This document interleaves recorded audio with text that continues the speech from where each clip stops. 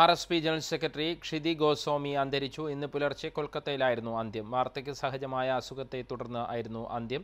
R S പിയുടെ പശ്ചിമ ബംഗാൾ സംസ്ഥാന സെക്രട്ടറിയായിരുന്ന ക്ഷിതി ഗോസ്വാമി രണ്ടായിരത്തി പതിനെട്ട് ഡിസംബറിലാണ് ആർ എസ് പിയുടെ ദേശീയ ജനറൽ സെക്രട്ടറി ആകുന്നത് ആർ എസ് പിയുടെ വിദ്യാർത്ഥി പ്രസ്ഥാനത്തിലൂടെയായിരുന്നു ക്ഷിതി ഗോസ്വാമി പൊതുപ്രവർത്തനം ആരംഭിച്ചത്. പിന്നീട് കർഷക പ്രസ്ഥാനത്തിന്റെ പ്രവർത്തനങ്ങളിലൂടെയാണ് രാഷ്ട്രീയത്തിൽ സജീവമായത്.